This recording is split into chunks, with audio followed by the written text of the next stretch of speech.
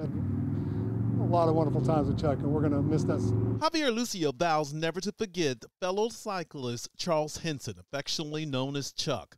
He shared this photo of Henson on his bike.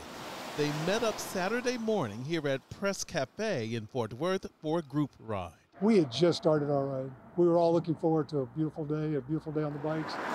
Their beautiful day turned tragic as the group of 10 cyclists rode here on West Vickery Boulevard. There are signs informing drivers this is a bike route.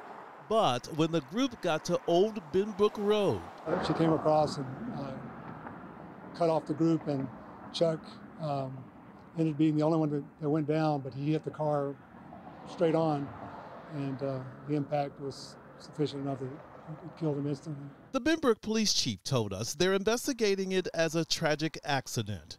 The driver explained what happened to police and to Javier. I did try to console her and talk to her for a few minutes, trying to understand what happened, and she just was obviously very apologetic and said she didn't see us, she didn't see us. She was very, very upset. Henson retired as an Overton Park Elementary science teacher in May 2022. In a school letter to the staff, the principal wrote Mr. Chuck Henson was a valued team member who proudly served the campus and cared deeply for our students. And he loved the kids. He loved the kids, and the kids loved him. And because he was loved by his cycling friends, we all need to be more aware that, you know, cyclists, motorcyclists, they will keep riding in his memory. In Fort Worth, I'm Scoop Jefferson.